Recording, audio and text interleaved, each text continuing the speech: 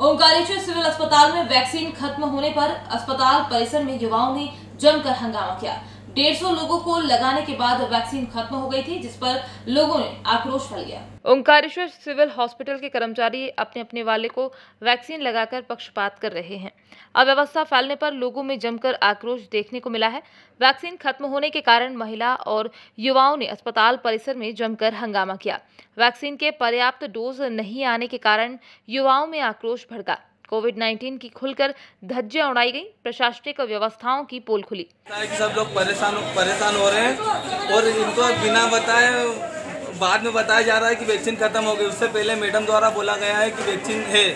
तो बोले और पर्याप्त मात्रा में और सबको लग जाएगी। और क्वांटर पर सभी क्वांटर छोड़ के चले गए। कोई जिम्मेदार व्यक्ति वहाँ पर है नहीं, वो डॉक्टर रवि वर्मा का कहना है कि ऐसा किसी ने नहीं बोला, बल्कि मैडम ने पचास लोग मेरे साथ है, वो लोग बोल रहे कि मैडम ने बोला था। जैसे आज सुबह साढ़े करीब छः बजे से यहाँ पे अस्पताल में भीड़ लगना शुरू हो गई थी। और एक्चुअल में यहाँ वन फिफ्टी डोसेज थे और अपन ने वन फिफ्टी डोसेज की रसीद काट दी। उसके बाद अपन ने जो ओपीडी जो रसीद का काउंटर है उसको बंद कर दिया। और जनता को बताने के बाद भी कि भाई वन फिफ्टी डोसेज से वो बुक हो गया, वो ख़त्म हो चुके उसके बाद भी जनता मान लेगी लाइन बना के खड़ी हो गई। रेड नाइन न्यूज़ के लिए ओंकारेश्वर से मोहित साहू की रिपोर्ट।